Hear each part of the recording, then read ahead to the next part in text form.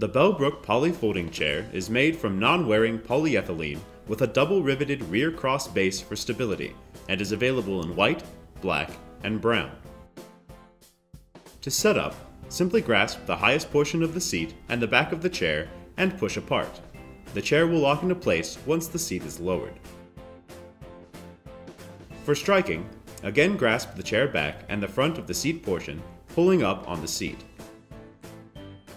After folding, chairs can be stacked and nested into one another for stable storage and transport.